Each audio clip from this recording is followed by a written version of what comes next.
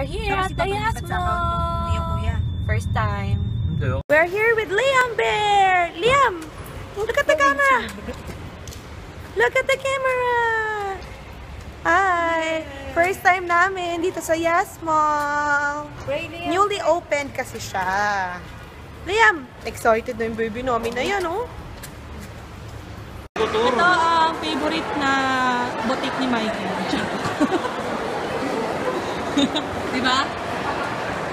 Oh, I love Kiki.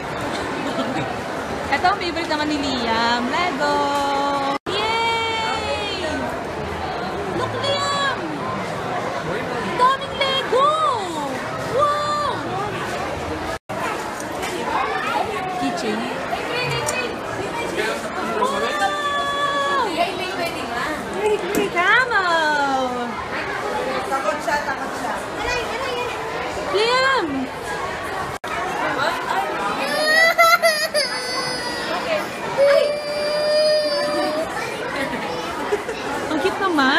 Talaga.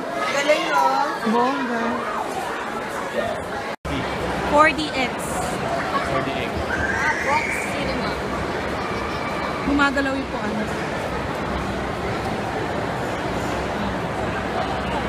Sobrang daming tao. Parang grand opening.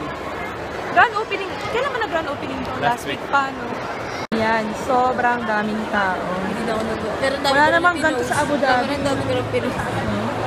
Sa Abu Dhabi, never naging gato kadami ang tao sa mall. Pero ito, di ko mag-guess kung ano yung mga display na yun. Scrap, scrap lang. Basura Malamig lang dito sa alam mo yun yung mga patay na dahon? Ito yun. Talaga? Tapos ito yan. Ano Yan, yan? dried, ano yan, dried, ah... Shell. Oo nga, ganyan. Kaya yung dried pusit, di ba? Pero sobrang mahal nun siya time 18 dirhams, doble ng price sa Pilipinas. Pat 80 pesos lang sa Pinas, di ba? Sa Ferrari car, o Vanilla. It's laying starn. ano yan? Sale? 979 Ha? Ling. 679 lang. Kano? 679. Liam, bibili din daw siya ng shoes. Tingin nga. Where? Which one do you want? That? It's too big for you, pa eh. Hindi kasha yun sa'yo eh. Hindi, iba yan. The outfit of the day. My naked shoes.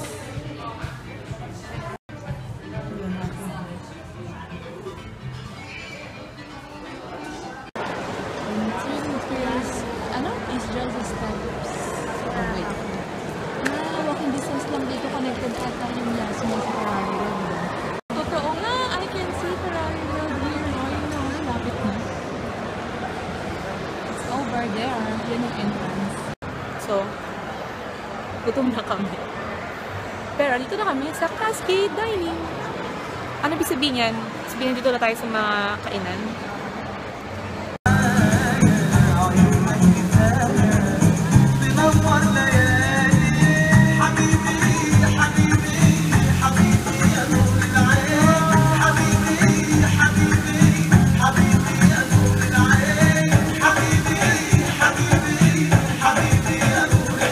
Wala kaming makain.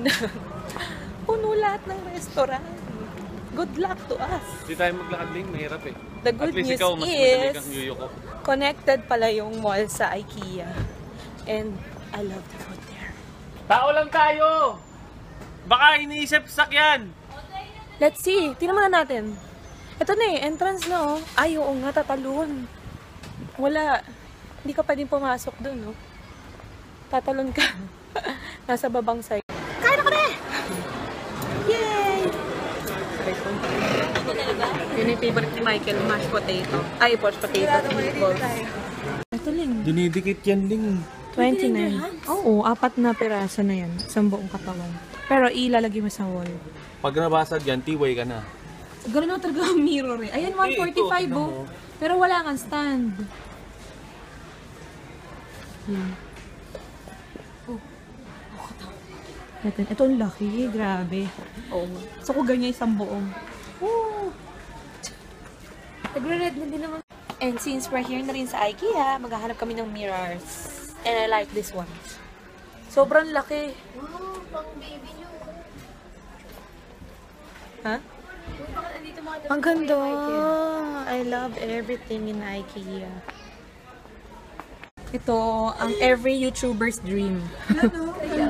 I love it! Magkano kaya to? 65. Yung mirror lang. 65 mirror lang, ito 95%. 200! 245 yan. Tinan mo, yung music. 95. Ah, 95.